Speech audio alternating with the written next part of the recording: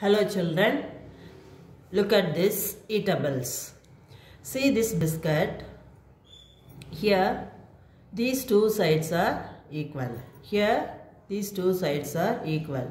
So that is called rectangle. Already we have learnt. Okay. So, uh, with the eatable things, we are going to understand uh, about the topic perimeter and area. Hmm? Perimeter, what we have learned, sum of outside measurement. See these two measurement and these two measurement. Sum of these four measurement, you will get the perimeter. So this is the shape of rectangle. Rectangle, opposite sides are equal. So what is the formula? Perimeter of rectangle 2L plus 2B. Now understood? 2L plus 2B that is the perimeter of rectangle formula. So we have to add these 2L and these 2B. This is the perimeter. Now area.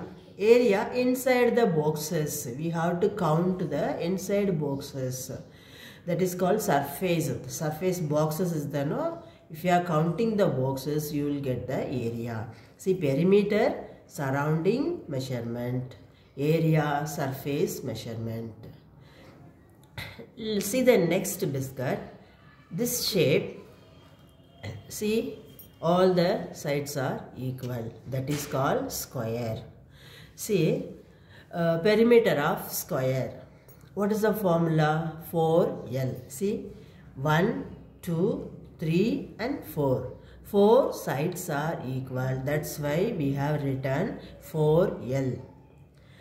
Okay. See a rectangle and square. Rectangle two sides are opposite sides are equal but square all the sides are equal that's why 4 into L for or add all the sides you will get the perimeter hmm? next here also same surface of this that is called area so same as triangle also triangle 1 2 3 so three sides are there three sides will make a triangle shape. Hmm? Uh, this is, see, all the sides are equal length. That is called equilateral triangle. So, perimeter of equilateral triangle, what is, what is the formula? 3L because 3 side measurement we are going to add. That is called perimeter. Here also same thing, surface of the triangle. That is called area. Hmm? See next uh, see the shape that is round. Round means circle. Circle we are going to find the perimeter. For the circle we will use the different word that is called circumference. Circumference means surrounding of the circle. Circumference this outer layer of a circle that is called circumference.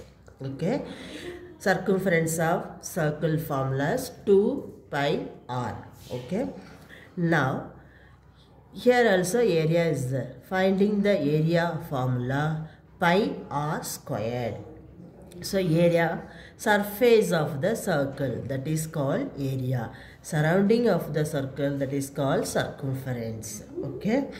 Um, see you can see the point in the middle of the biscuit uh, from here to here that is called radius.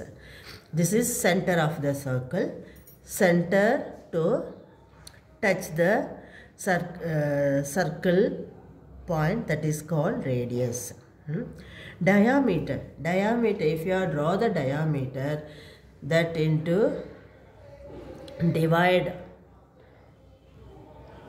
two pieces of circle. It's divided into two. Listen children.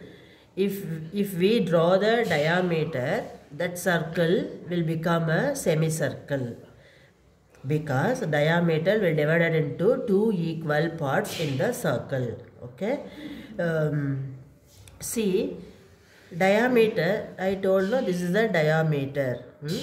from here to here already i have told you radius and here to here also radius. So 2 radius will become a 1 diameter. Thank you children.